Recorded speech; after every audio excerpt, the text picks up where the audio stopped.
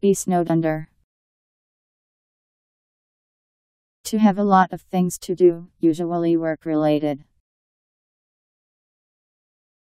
B E S N O W E D U N D E R. Be snowed under.